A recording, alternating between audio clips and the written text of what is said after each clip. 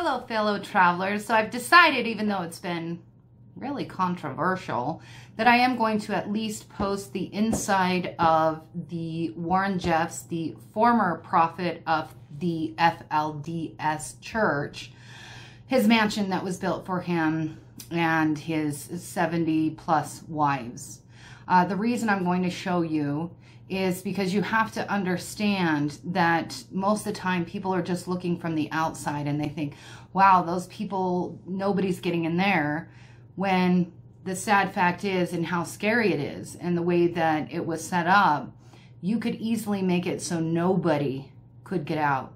And I feel it's really important to share these aspects, these darker sides of life, even though it is dark and it is sad and it is wrong. What he did is so wrong. But until we start understanding each other, until we can see what is really going on, we're never going to be able to shed that darkness in the world. So again, I am going to share it now, but I'm only going to share the inside and the outside. And what I will do for the ones that actually like to travel and like to see it and want more information, in a few days, I will cut together all of the information I got and I will post it on my YouTube channel and I will uh, let you know once it's up so that way you can look at it. So without further ado, I, I do want to show you the inside of of this mansion and really take a look at how they would keep these women in line, in check, in uh, some kind of virtual servitude to a monster known as Warren Jeffs. Now check this out. Like this is solid.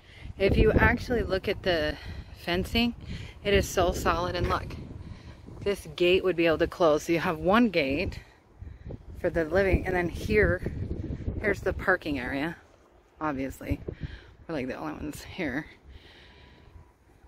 That could close off. I mean, it's kind of like a fortress. Holy cow. We're gonna go unpack and then go explore. Floor is soft and squishy, everybody. It's like really cool. Okay, here we go. We are in Warren Jeffs' mansion. Obviously, he never stayed here, but it was like to celebrate when he got out of jail. Let's see. That's a nice big closet. At least they have.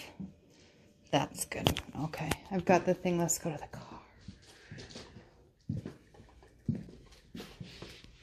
Go ahead, shut the door.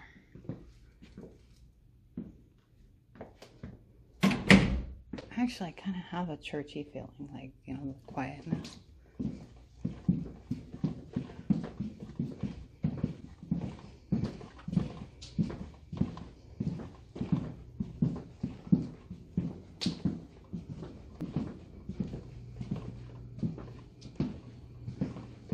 So we could get out over this way to get our stuff and get a jacket.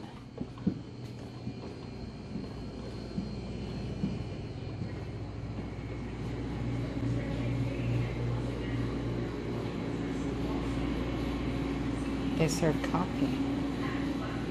Interesting. Sweet.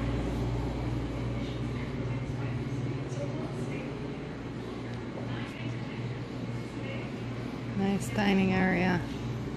I want to show you something.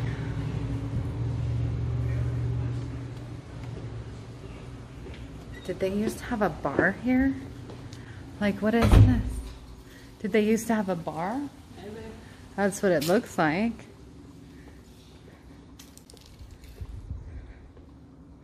Or maybe is it just for show? No fire going because everything's at half capacity. Here, let's see if I can get like a kind of a broader picture of it. And this was one of your guys' ideas to come here.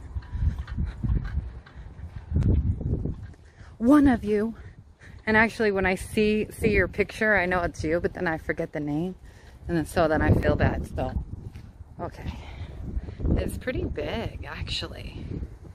Wonder how many, I'm gonna look up how many wives he has. Had. A walkabout of the compound real quick.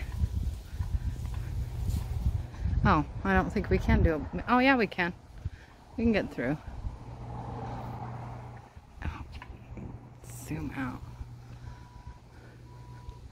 I don't know. I don't. I think it would feel weird to have a house where you had to have such a fence. Oh gosh, I got nervous over nothing.